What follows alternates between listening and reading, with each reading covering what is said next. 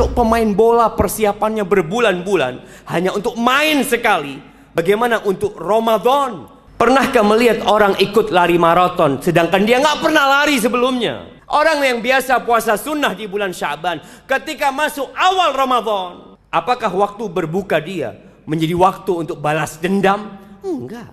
Anda udah puasa Syaban. Ramadan, Anda hendak berlari untuk meraih pahala yang sebesar-besarnya. Kita kadang kala heran nanti di Ramadan ada yang menyebutkan Imam Syafi'i rahimahullahu taala di bulan Ramadan itu hatam Quran sehari semalam dua kali jemaah. Kita setahun belum tentu hatam Quran. Kenapa bisa seperti itu? Berkah waktu mereka, tapi juga ada latihan yang mereka lakukan. Saatnya kita berkemas, membuka kembali tas milik kita, koper milik kita, persiapkan untuk bulan Ramadan.